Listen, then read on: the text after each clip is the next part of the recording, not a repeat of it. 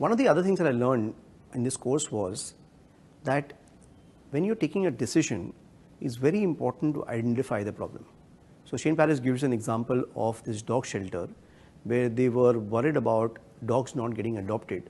So they would do these advertising campaigns so that more people adopt dogs.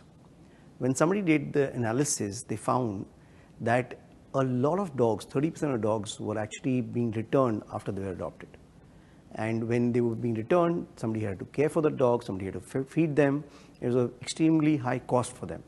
So what they started doing was they started asking people, what is the reason that the dogs are being returned?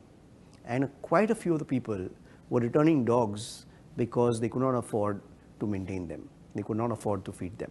So they came up with a very interesting strategy where they said, okay, if, if you want to return your dog, but if you want some assistance from a feeding them point of view, we can provide you that.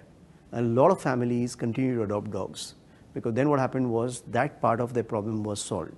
And the shelter was anyway spending a lot more money keeping the dogs than, than providing some kind of financial help for feeding the dogs. So I think it's very important to understand what the problem is, what is the root cause of the problem, and how do you attack the problem with the root cause.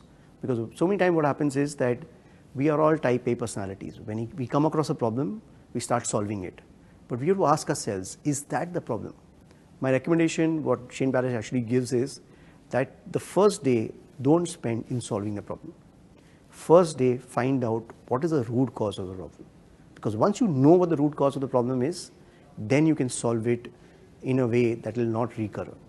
Otherwise, what happens is we do patchwork, the problem, we never understood what the problem was. The problem was not more adoptions. The problem was people returning the dogs.